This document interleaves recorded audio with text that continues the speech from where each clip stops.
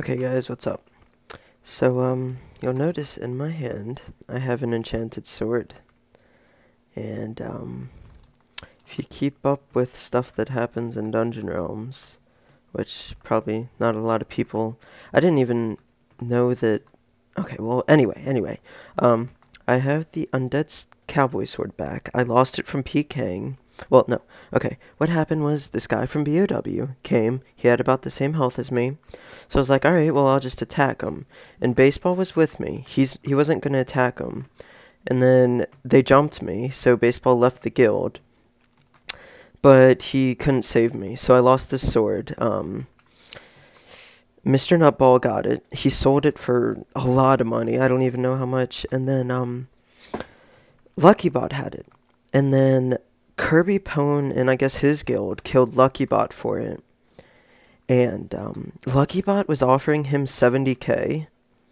Um, but I guess I just made a better deal. I mean, I don't I don't personally think it was a better deal. Um, Kirby.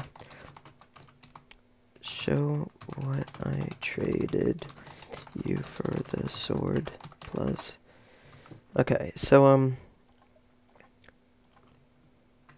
what I traded him for this sword, I gave him another uncommon sword, about the same. Um, these leggings, which have like 10 energy with the int that's on it. Um, these boots, which really aren't bad, but they're HP regen. And then, yeah, that sword, 178 to 225, and this is 181 to 224. Um, and yeah, that's what I traded him for this sword, and yeah, and um, yeah. So uh, thanks to Kirby, I now have my cowboy sword back. I don't have any extra T5, but I am in full T5 with no vit, but it's like kind of crappy T5. Now, those boots that I gave him were better than mine, but they were HP. Um, these leggings are really good for common, at least. Um, chest plate.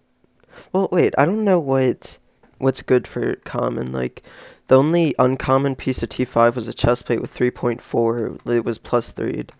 So, I mean, th- yeah, that, that was an uncommon. Um, so yeah, thanks a lot to Kirby. Um, uh, yeah, and, uh, I have a T4 pick now, and I have 15 durability. That's crazy. Um, but yeah, I, I love my pick. It's so amazing. Um, so yeah, I got my cowboy sword back. Yay! All right, bye guys.